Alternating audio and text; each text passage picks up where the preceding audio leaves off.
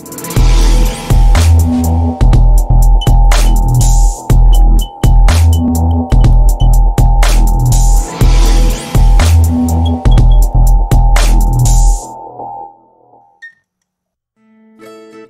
in this video we will learn about how to rename WP admin login URL manually without using any plugin in a new installation of WordPress.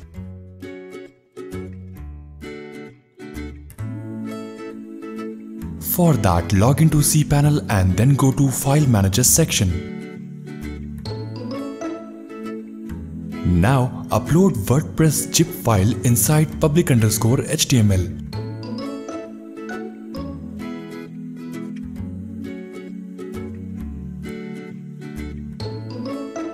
Once the zip file of WordPress is uploaded, just extract it here.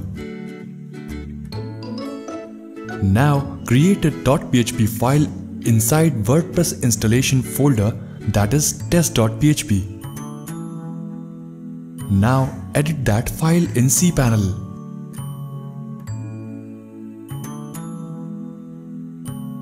Now enter the following code here which contains the code to find a particular keyword and then replace it automatically. Now click on Save Changes. Now open this test.php from outside via web browser. This code will run in the backend and will find and replace all the keywords of WP admin into the new admin URL keyword. Now also rename WP admin as we have renamed it everywhere.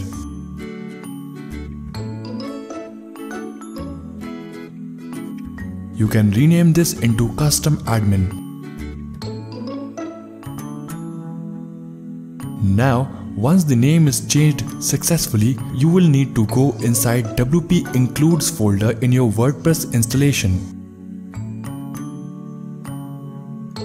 Now edit admin_bar.php inside WP includes.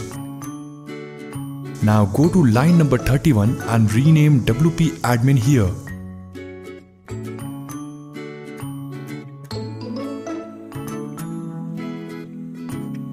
Now click on Save Changes. Now rename class WP admin bar.php inside WP includes. Make sure you rename according to your new custom admin panel's name. Now go inside MySQL database inside cPanel.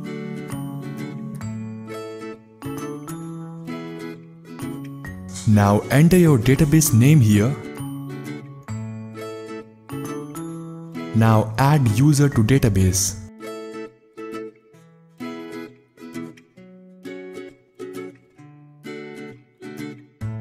Now you need to assign a user to the database.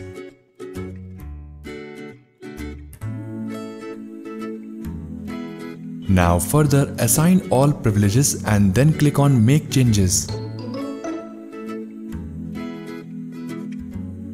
Now go to the WordPress dashboard login page and then select your language and then click on continue.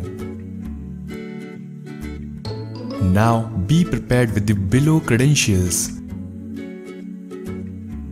Further, enter your credentials and click on submit that is enter your database name, username, password.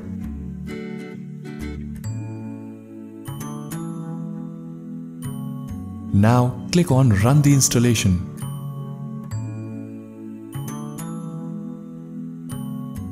Now here enter your website name and then enter the password of your WordPress account as well as username, your email ID and then click on install WordPress. Now if you go to the login page and enter your login credentials that you have made just now, you will find that your WordPress is now accessible in your new custom admin path. Now here are few troubleshoots. If this type of error appears, you need to resolve this error by enabling the error log.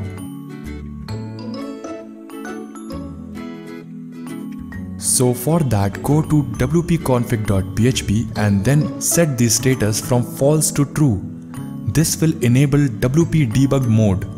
In this way you will be able to see the actual error.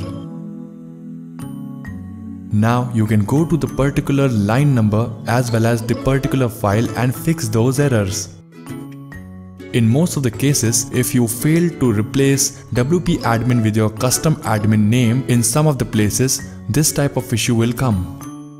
If the error is resolved, you will be successfully able to log in inside your WP admin panel.